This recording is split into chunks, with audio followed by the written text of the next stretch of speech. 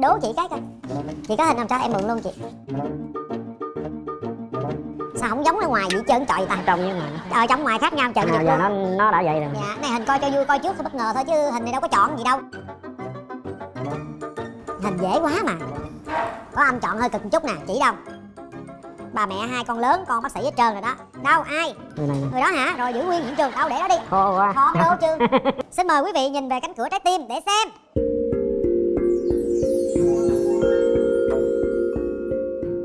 rồi bây giờ nhìn về lại đi giờ cái người ngồi đó đó với mấy người trong này là người nào? Đâu giờ nhìn kỹ cổ đây nè với trong đây nè là cô nào? Vậy có nghĩ là cái cái cái, cái người này. Ờ Vậy chứ em nghe tiếng nói cho bên đây em biết hình anh rồi đó thôi đi hình có ba người. Hai người kia trẻ măng à. Dễ quá rồi. Thôi bây giờ này nè anh ơi thôi giờ đừng ngắm nữa có người thật thật rồi ngắm người thật đi. Tặng quà kìa anh ơi. Còn cái ờ, rồi qua đây luôn giùm em. Dạ đây đây anh anh đứng bên đó đi anh Rồi. Trong chương trình này em cũng món quà để tặng cho cảm ơn. Rồi ngồi xem hỏi ha. Món quà này có ý nghĩa gì không anh Ờ, cái uh, sô la thì uh, cái nghĩa thì ờ, nó ngọt nó ngọt ngào. Thôi nó ngọt ngào ha thấy anh nói là thấy ngọt rồi đó. Còn món quà này món quà gì anh khui em coi với được không? Đó giờ có ai tặng quà anh không? Chị đã ngồi đối diện nhau qua cánh cửa trái tim này. Thì bây giờ mình sẽ giới thiệu to hơn rõ hơn để cho đối phương có thể nghe được những cái lời chia sẻ của mình. Tường chào anh trước nha. Bây giờ anh giới thiệu trước anh tên là gì? Tôi tên là Quỳnh Quỳnh Phúc Nguyên Hôm nay là 49 tuổi. Ở là tỉnh Bến Tre Ở quận 11 à rồi mình đang làm gì trên này? À, Tài xế xe taxi. Mình chạy theo ngày hay là mình ờ, ôm luôn xe hay là mình chạy theo ca? Chạy uh, ôm luôn xe. Ôm luôn xe luôn. Anh Dạ. làm công nghệ công việc này lâu chưa? Công việc ờ, này cũng được một năm hai tháng rồi. Ủa mới có năm mấy à? Vậy trước đó anh làm gì?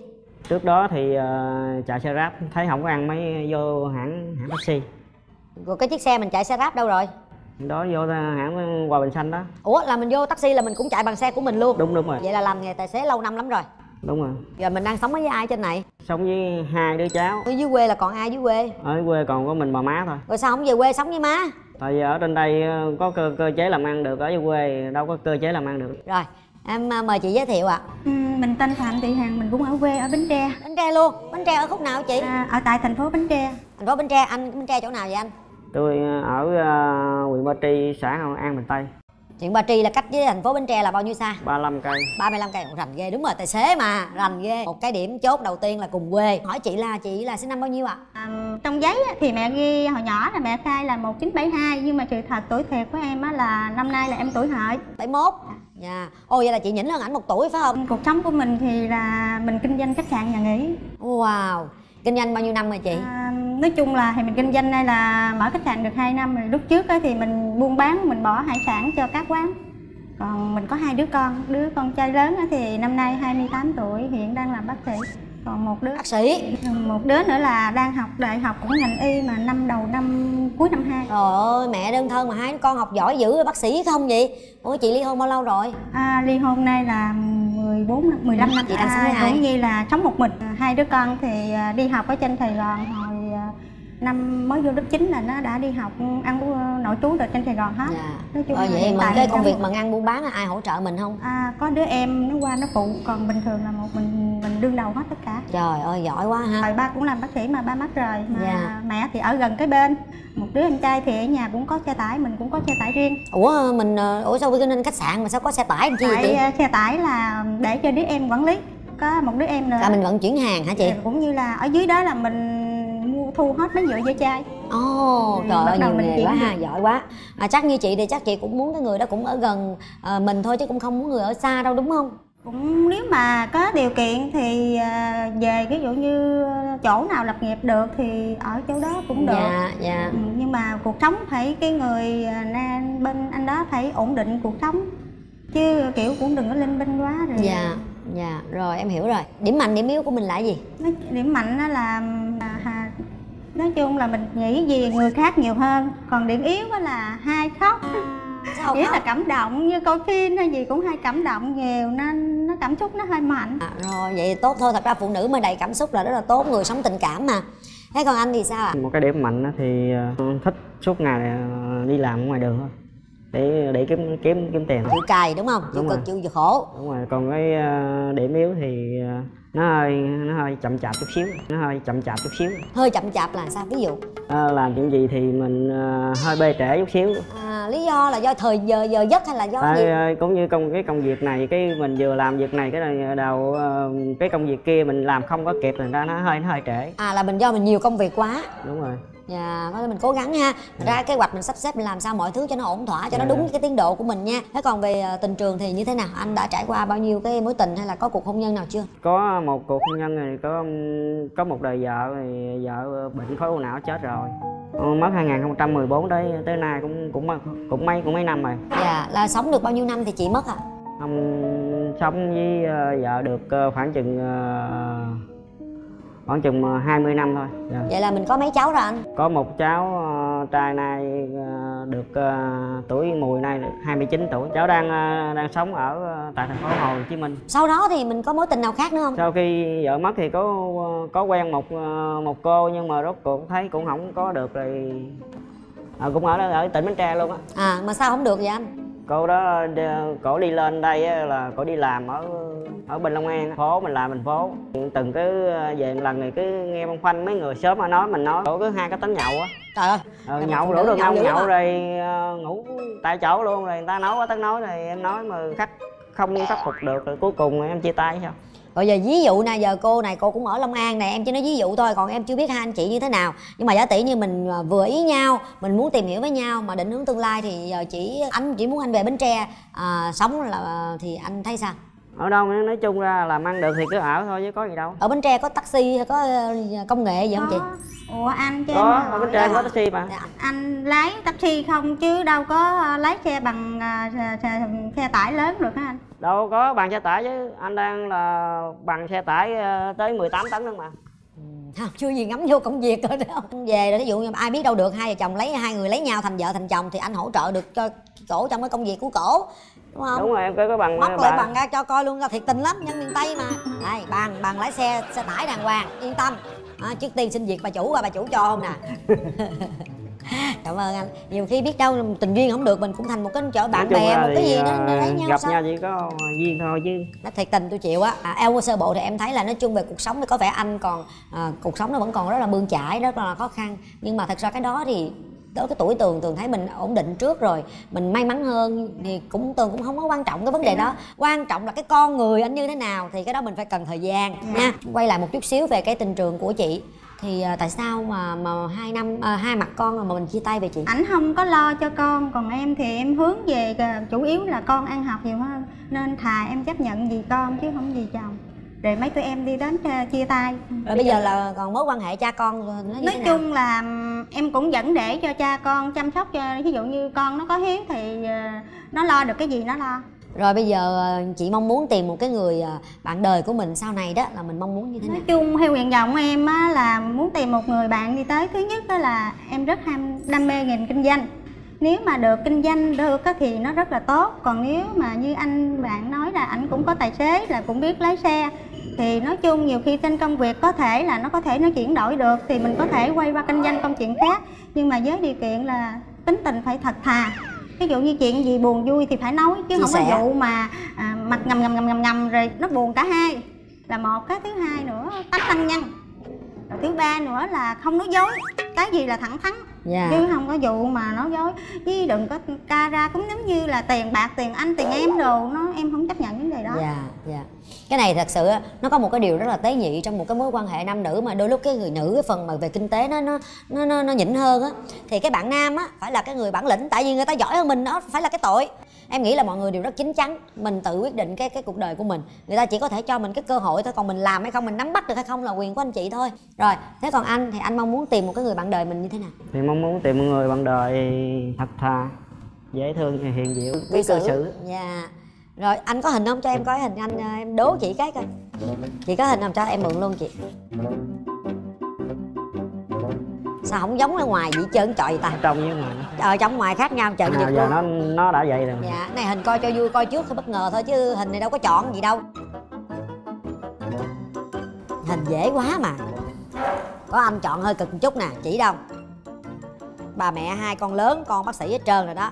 Đâu ai? người này nè người đó hả rồi giữ nguyên hiện trường đâu để đó đi khô quá khó mới đố chứ xin mời quý vị nhìn về cánh cửa trái tim để xem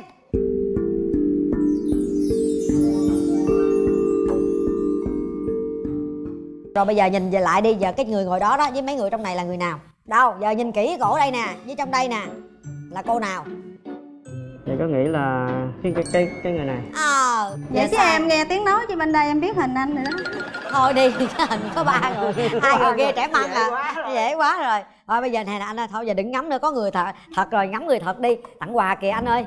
Còn cái ờ, rồi qua đây luôn giùm em. Dạ đây đây anh anh đứng bên đó đi anh. Trong chương trình này em cũng món quà để tặng cho cảm ơn rồi ngồi xem em hỏi ha món quà này có ý nghĩa gì không anh? Ờ, cái uh, sô la thì uh, cái nghĩa thì ờ, nó ngọt nó ngọt ngào thôi. Nó ngọt ngào ha thấy anh nói là thấy ngọt rồi đó. Còn món quà này món quà gì anh khui em coi với được không? Đó giờ có ai tặng quà anh không? Đó giờ chưa. Em nghĩ chắc cũng lâu chưa có người tặng quà ha. Chưa. Tội nghiệp ha cũng một mình đơn thân trên sài gòn ha. Wow làm gì biết nghề ta làm nghề tài xế hay gì vậy trời Ờ, tặng. Tặng cái đó có ý nghĩa gì vậy? Ý nghĩa gì vậy chị? Thứ nhất á là đến chương trình này thì biết ảnh cũng là chủng chạc người rồi nên em tặng một cái màu đen là cái một màu á là đã vượt qua cái sáng nó trở thành đôi đen. Bây giờ cố gắng làm sao nó sẽ trở thành một cái sáng. À có ý nghĩa đàng hoàng. Có nghĩa, mặt tường nhìn vô tường nghĩ ý nghĩa cà ra vát giống như là ờ, tròn vô cổ xong móc cái cổ kéo đi luôn vậy đó. Vậy được không anh? Được không anh? Kiểu, này không không được cũng phải được Không được, phải được à. đã được cái này rồi nó nhận rồi. nó nhận rồi tất nhiên phải chịu rồi. bây giờ em mời hai người ăn trưa với nhau. Vui vẻ tâm sự nói chuyện thường về quê không? Một năm về quê có một lần à. Còn mẹ mà sao anh ít về quê quá à? Tại vì anh em ở dưới đông á. Con cháu đông mà về dưới à, lên đây phải đi làm. Làm đây là nhà của mình hay là nhà trọ? Mình đang ở à, với cháu trong nhà trọ. Vậy lương thu nhập anh một tháng được bao nhiêu? Lương thu nhập tháng nó chừng chín mười triệu à. 90 triệu đó là anh sử dụng qua nuôi con hay là anh sử dụng qua vấn đề à, giờ con nó đã lớn rồi đâu có nuôi nữa. Nay nó ba hai chín tuổi rồi vậy là từ hồi khi anh thôi giờ tới giờ anh có tích lũy được cái gì không? Giờ tích lũy mua được chiếc xe thôi chứ giờ đâu có mua được gì nữa đâu. Cũng như là xe um, taxi đó riêng biệt của anh hả? Chứ không Đúng phải là của hãng. không phải của hãng. Anh mua xe được bao lâu rồi? Xe này được uh, 3 năm rồi. Ba năm. Lúc anh mua xe mới hay là xe đã qua qua sử dụng? Mình mua xe mới luôn á. Một ngày vậy mức um, tiền thu nhập của anh được bao nhiêu? Một ngày thu nhập là một triệu. Nếu một triệu thì một năm anh dư ra bèo bèo cũng có tiền ăn tiền nhà hết không bởi vì nghĩ tiền xăng cộ tiền công ty lấy là nếu mà tại tháng 30 ngày 30 triệu là công ty lấy hết 4 triệu rưỡi. 4 triệu rưỡi thì còn à, tiền xe rồi tiền tiền tiếp thị. Trình độ anh hồi đó học tới lớp mấy à? Rồi anh học mới um, tới lớp 9 à. Anh có gì muốn hỏi em không? Anh thì ít nói lắm mà đâu biết gì đâu. Thì anh cứ việc hỏi đi. Rồi con anh có thường cho tiền cho anh không? Hay là không nói chung ai là nó làm thì nó nuôi bản bản, bản thân nó thôi anh thì Vậy à, là- nuôi làm riêng không có chung. Vậy là ý anh là con anh nay là cũng là 29 tuổi cũng tới tuổi để um, cưới vợ được rồi. Thì anh có dự định cái khoản tiền để sau này cưới vợ cho con anh không? Thì cũng có dự cũng, cũng có dự định nhưng mà chưa. Có dự định hay là anh phải khẳng định là dự định hay là đã có để mình dự định thôi chứ chưa. Vậy rủi con nó đòi đột xuất để đâu tên cưới vợ. Nói chung ra là mấy cô mấy chú nó có phụ. Ừ. anh hỏi gì em hỏi đi anh thì không biết hỏi thì gì. anh cứ hỏi thi rồi để nhiều khi đi về rồi cái hối hận đó tao ngồi trước mặt mà không hỏi được gì sao anh ít nói à. ít cái làm ra không? Không biết à, nè, hỏi như cái thế nào. Rồi hôm nay anh gặp em anh cảm nhận như thế nào? Thì à, nay gặp em thì cảm nhận em cũng à, rất xinh xắn nhưng mà thấy em cũng rất là vui. Anh có thường lên bến tre không anh ít có về Bến Tre lắm. Nhưng mà chắc anh biết nghe ngã tư tân thành chứ gì hả? Biết. Dạ em nghe đó. Nói chung ra là à, cái Bến Tre chỗ nào anh cũng biết chứ đâu. Về quê ghé chỗ ờ, ghé thăm cho cho biết luôn. À, rồi ờ, tới đó em mời anh nếu anh về có số điện thoại anh em mời anh uống cà phê. Cảm ơn em mời tôi nữa đó nha. Tôi nói thiệt á tôi đang có dự định đi bến tre đó. Còn mà chị Tuyết Tường bến tre ghé em nha. Phải có số liên lạc mới ghé được. Dạ. Thì có dự định đi Bến Tre lên xe em chở đi về luôn. Rồi, tao có xe, tao có tài xế ghi không không? Nói đùa thôi chứ tại thấy thì à, phụ nữ mình á, này Tường chia sẻ thiệt luôn Sẽ sâu sắc hơn nhiều, sẽ chi tiết hơn nhiều. Nó thật sự mình đòi hỏi một mình khó quá, nó sẽ cũng không có được đâu Giống như em nè, đó Đôi lúc nghĩ, nghĩ không phải mình ế chứ. Mà tại sao mình ế được? Anh ông cũng đẹp cũng giỏi cũng này kia mà tại sao không kiếm được ai? Tại em nói thật sự luôn em khó tính lắm. Em cũng vậy. Em khó tính lắm. Và khi mình khó tính á cái người xung quanh á cái người đàn ông nó không đáp ứng được cái nhu cầu của mình. Mà mình thì lại thấy cái nhu cầu mình nó quá đơn giản mà tại sao người ta không đáp ứng được? Tánh em thì nó thoáng nếu mà nó thoáng nó sởi lởi thì sẽ dễ hơn. Như em khó tính là khó tính với con như vậy là tuyệt đối là không có dùng từ mày với con. Là Ừ. em chỉ nghiêm khắc với con. Dạ. Như giờ như vậy là chủ yếu là kêu con ngoan ngoãn thôi chứ còn cái vấn đề mà gắt gao là em không có gắt gao. Nhưng mà đối với anh thì em thấy rằng là em hiểu là cái cuộc sống mỗi người một cái hoàn cảnh cuộc sống của anh đôi lúc nó cũng còn có khó khăn. Giống như đôi lúc á chị hỏi những cái câu mà về định hướng tương lai anh không có trả lời được hoặc anh chưa có thì đôi lúc em nghĩ rằng là đôi lúc có những con người á người ta chỉ là cơm ngày ba bữa và người ta lo mỗi ngày thôi à chị chứ người ta không có phải như mình để mình lo cái tương lai ngày mai ngày mốt ngày kia. Cho nên mình hãy đặt mình vào hoàn cảnh người khác để cảm thông được họ. Đôi lúc nó có những cái nó thật ra nhiều khi anh thấy chuyện đó là bình thường. Anh vui hỏi giờ anh có gì không? Anh thấy anh tự tin anh thấy anh thoải mái ở đâu à làm được anh sống được. Rồi đây là những cái câu hỏi của à, chương trình gửi cho mấy anh chị cho vui để mình đọc rồi mình làm cho nó vui với lại nhẹ nhàng để mình à, hiểu nhau nhiều hơn. Tắm thôi anh ơi! Anh rồi. tính bốc hết. Dạ anh đọc lớn lên giùm tường đi. Hai bạn ôm nhau trong một phút rồi nói cảm nhận về nhau. Rồi anh tiến qua xin chỉ hai người đứng lên ôm nhau một phút rồi nói cảm nhận. Vụ vụ đó lớn hết rồi. Ông nhanh nhanh mạnh mạnh quyết liệt Rồi. lên xíu. Ừ. thôi nha. Em biết nói gì đó. Thì xin cho em cho anh ôm em một cái thôi mình cảm nhận nhau cho nó dễ dàng để mình Xin quyết em định. ôm em một cái để mình cảm nhận nhau. Thì cái tay này xong ôm trời nói chơi à, lớn tuổi lớn tuổi chứ hết nửa đời người vẫn vẫn rụt rè trong tình yêu đó quý vị. Ôm xong phải nói cảm nhận. Cảm nhận. Nhìn nói với cổ á chứ nói em chi? Thì cảm nhận anh như thế nào? Anh cứ nói đi. Ừ, cảm nhận thì nó tiêu nó hơi độc thôi cái gì? Lẽ tim không đọc chết sao? Có hồi hộp hơn không? Có xúc có rung động gì không? Có hơi run run chút. Rồi cảm ơn anh. Rồi mời chị gái bóc một câu luôn ha bóc một cái luôn ha. Chàng trai xin phép. Rồi ngồi, ngồi đi chị. Chàng trai nữa hả nắm tay cô gái rồi nói cảm nhận là cảm nhận nữa hả? Trời ơi sao anh lời quá vậy? Nghe lời quá rồi qua nữa? Vậy là qua tiếp qua tiếng thôi. Trời là tiếp nữa. Ổng tại làm như chương trình á, cho biết anh ít nói hay sao á. Anh nên nói là cái rồi đó nó- chứ bây giờ chốt luôn nè giờ là câu chuyện cuối cùng mà hết rồi đó. Nếu mà có duyên với nhau thì ờ, ờ, cho cái thời gian để mình hẹn hò tìm hiểu nhau nếu được thì mình tiến tới. Ờ, một cái hôn nhân. Ờ, có số điện thoại thì có thể ờ, về về ngang ghé mời về mời về về nhà chơi cho cho biết. Hoặc cái ngày đám giỗ đám quả gì đó ở nhà mời. Dạ em dạ, rồi cảm là đi ngang rước luôn phải không? Có Ngang xe rước phải luôn, không? có xe lấy tiền taxi không? Không. Lấy tiền taxi còn gì nữa. Lấy tiền taxi còn gì nữa ha. Mời anh chị đặt tay vào cái nút bấm này giúp cho tường. Sau 3 tiếng đếm của em nha nếu anh đồng anh chị đồng ý à, cho nhau cơ hội thì bấm mạnh.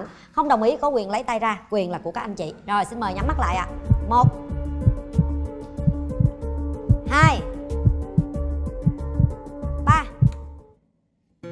em chắc em cũng hiểu là chị còn nhiều cái băn khoăn nhưng mà chị có thể chia sẻ một chút xíu không thứ nhất là trên công việc nếu mà trên công việc kinh doanh anh này ảnh chậm chạp Anh hơi chậm. dạ đúng rồi. Nó sẽ mỗi khi mà anh phát biểu lên một lời nói thì nó sẽ rất là trễ nải chỉ cần một giây thôi nó cũng đã trễ nải.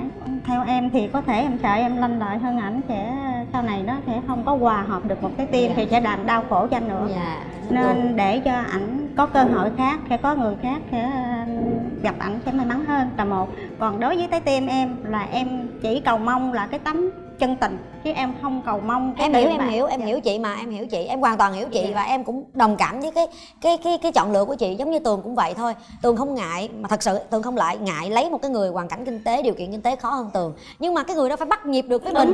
Ví dụ như em nói như một cái chuyến xe hàng ví dụ như mình đi vô tới công ty để giao đồ. Mà ví dụ như mình chỉ người ta đồng thời tại sao chiếc xe sau nó đã đi sau xe trước mình đã đi trước nhưng mà anh bước từ trên xe anh bước xuống để anh đi vô anh trình giấy cho bảo vệ. Thì cái anh đằng sau anh đã bước xuống trước thì cuối cùng lại mình cái đơn hàng của mình phải xe chậm lại để cho xe trước vô nữa. Thì nó sẽ ảnh hưởng rất là nhiều trên công việc thật ra trong cuộc sống có ừ. những cái chậm nó chắc à, suy nghĩ kỹ nó rất là quan trọng để đưa ra những cái quyết định. Tuy nhiên với cái nhịp sống hàng ngày thì mình phải nhanh nhẹn mình mới bắt kịp được với cuộc sống. Đôi lúc có thể mình à, không phát triển được như người khác mình phải xem lại là do mình đã cố gắng hết sức nhưng mình chậm à, mình mình không theo kịp hay là do mình chưa thật sự cố gắng hết sức rồi. Quyền là của anh nhưng chị mà thôi. em chỉ nói đây một câu nữa. Anh cứ việc lấy số điện thoại của em. Và nhiều khi có thể tại vì em đi lên sài gòn này rất là nhiều có thể em lên tới em sẽ điện anh nhờ anh chở em qua bên công ty khẩu trang bên khẩu trang. Đó. tại vì em có nhập khẩu công ty khẩu trang của của cộng hòa liên bang đức nên em lên công ty này rất là thường. Rồi có thể là em sẽ còn nhờ anh nhiều. Ví dụ như trong khoảng thời gian dù em không bấm nút nhưng mà trong khoảng thời gian em giao lưu và tiếp xúc với anh ví dụ như có thể ân tình thuận tình thuận lý nó có thể còn đi con đường sau nữa không dạ. nó cũng không cũng không có gì nhưng mà nói chung là cái nhà chương trình thôi. Ví dụ như mà à, có duyên thì à, có duyên có nợ thì à, gắn kết với nhau còn không duyên nợ thì thôi chuyện đó Dạ. bình thường thôi gì đâu Rồi vậy Tường cảm ơn anh chị nha. Mời hai anh chị chị. lên ạ Đây em thay mặt chương trình gửi tặng chị một món quà làm kỷ niệm nha. Là bộ son Yurika đến từ Nhật Bản. Với chất son lì không chì mang nhiều màu sắc trẻ trung phù hợp với mọi cá tính sẽ giúp cho bạn tự tin nổi bật trong mọi ánh nhìn. À, Mặc dù hôm nay là Tường không có kết nối được Hai anh chị Tường cũng rất là buồn. Nhưng mà đó là là là cái quyền của anh chị rồi. Thì quý vị khán giả đang theo dõi chương trình cũng sẽ đồng cảm ha. Ừ, em xin chúc cho anh chị là luôn được nhiều sức khỏe. Và không xa, mỗi người cũng sẽ tìm được cho mình một nửa yêu thương, cái người đồng hành, một cái người bạn đi với mình một cái chặng đường dài của cuộc đời luôn. Kính thưa quý vị, và bây giờ thì thời lượng phát sóng đã hết rồi.